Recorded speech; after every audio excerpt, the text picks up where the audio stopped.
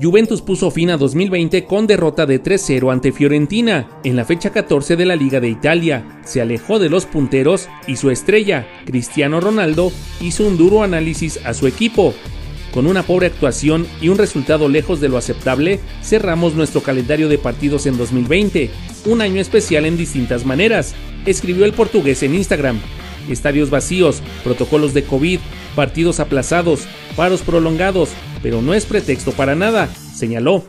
Juventus está con vida en la Champions League y a 7 puntos del líder Milan en la Serie A. Son resultados aceptables, pero no para un equipo grande y un futbolista ambicioso. CR7 puntualizó que deben dar más. No podemos aceptar más que la excelencia. Espero que esta corta pausa nos haga volver más fuertes y unidos, porque falta mucho y creemos que vamos a terminar otra vez festejando con los fans, concluyó Cristiano.